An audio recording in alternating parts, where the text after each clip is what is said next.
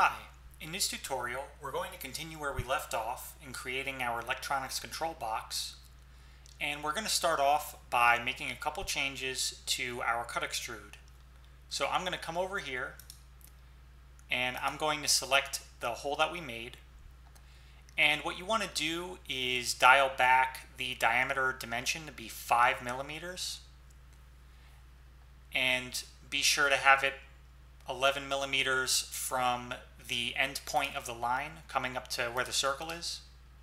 Let me show this. And that's going to be our uh, set of dimensions for this hole. So I'm going to now jump to the next part that we want to create. We want to create a door that uses these two holes in order to hinge and there's going to be a rod that passes through these two holes and through the door and that's going to allow it to swing open and close. So I'm going to come up here and save and I'm going to jump to my other part. And so the first thing that we're going to do in this part is we're going to create a base flange which should which we should be uh, fairly familiar with by now.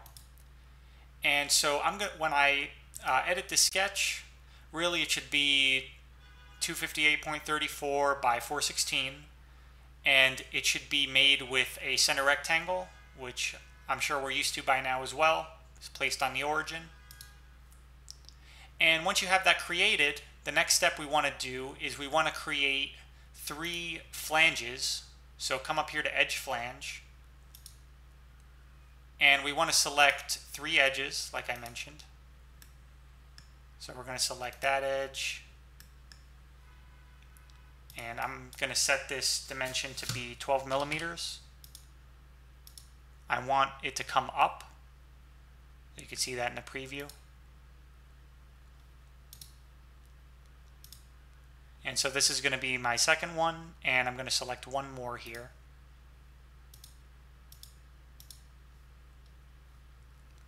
And so those are the three. I'm going to set it in this direction. Again, I'm supposed to be 12 millimeters. And the dimension is going to be from the outer virtual sharp. That's the reference point that I want to dimension from. As I mentioned before in the other video, if you choose inner virtual sharp or if you choose tangent bend, it's going to dimension it either the straight part for inner virtual sharp or it's going to come all the way to um, the, the tangent to the curve of the bend for the third option, but we're going to stick with the first option. And the flange position is going to be material inside, so that it's easier for us to dimension later. So this is going to be 90 degrees, and you should see uh, your bend radius 1 millimeter and your gap distance to be 1 millimeter. Um, you can turn off use default radius if you need to. Uh, since this is a very simple part, uh, we're not going to mess with the global settings. You can just change that here for now. So I'm going to hit OK. And so this has created the flanges. And from here, um, I'm going to edit the sketch of one of the flanges. And so as we learned in the previous video, behind every edge flange up here, there is a sketch that, that can be edited. So I can come here to this sketch and edit the sketch. And I can drag out a circle and place it here. And I can set a dimension on this circle to be a diameter of 5 millimeters. And I want this to be in, a, in the middle of these two lines. So I can just click on this uh, midpoint of this line. And when I drag it out horizontally, anything that sits on this point is going to be in the, in the middle as well. So come here and hit merge clicking on the center of the circle and, and this point. And I can set a smart dimension here for 5 millimeters from the end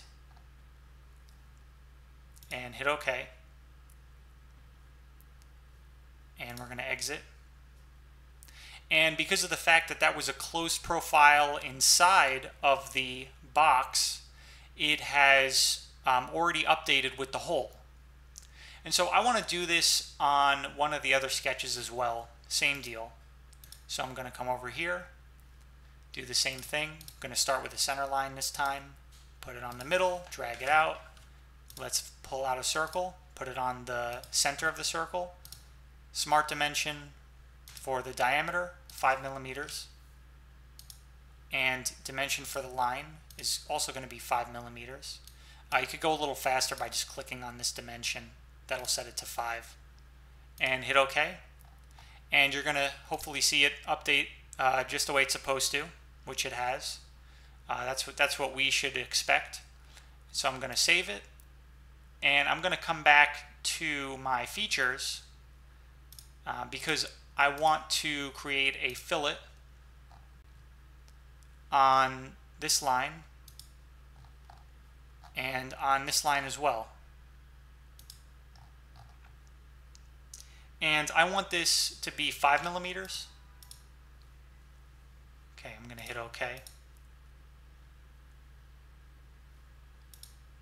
And so we can actually check out uh, something that we haven't seen yet and that we haven't done. Um, I can go to my flat pattern, which is here at the bottom. It's always at the bottom of the part. Let me delete this old uh, feature. And with your flat pattern, you can see that it's grayed out. But once you click on the plus sign, you can activate it and you can right click and hit unsuppress. And when you unsuppress, you're going to see your flat pattern show up. So this is a flat pattern of the part. And if I come back here and I suppress it, then it's going to close back up. So that that's a, a great way to kind of check out the part that you made, see what the flat pattern looks like, see if it's, if it's really manufacturable, and if it unfolds the way it should. Um, one more thing that we're going to go over before we uh, finish up with this is I'm going to show you here in the cut list. If I click on the plus sign here, you can right click here on sheet one and hit properties and that's going to bring up your cut list properties. And there's a, a wealth of information here.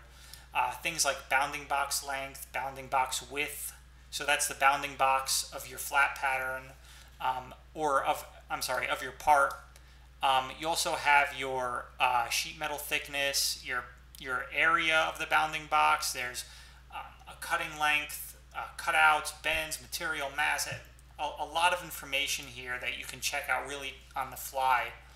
Um, and that, that can be very helpful. Uh, so I'm going to exit out of this. And so that's our part. Now that we've created our housing and our door, we want to create an assembly of the two parts, including the rod that connects them, and so what we're going to do is come up to Insert Components, and I'm going to click on Metal Box, and I'm going to hit OK. And so if you notice, I didn't drag the metal box outside of the um, feature manager tree here. I just clicked OK, and that placed it directly on the origin. So here's the origin. Um, these are the three planes that make up the origin of the assembly. You can see that the box is directly on there. Uh, that's just going to help us uh, better solidify the location of our first part. So now I'm going to go back to Insert Components and I'm going to click on Door, except this time I'm going to drag it outside of the Feature Manager tree. So now that it's outside, I'm just going to click once to place it. And I'm going to come up here to Move Component and click on the arrow to hit Rotate. And now I can rotate my door and I'm going to hit OK. And from here, I'm going to click on Mate and I'm going to click on Concentric on this hole and I'm going to click on Concentric on this hole and this uh, handy little uh, shortcut menu is going to come up and I'm going to hit OK. And from here, all I have to do is make this face coincident to this face, and they're going to snap together. So I'm going to come up here and hit OK for that. And so with this finished, I can exit, come back to Insert Components, and I can drag out my rod.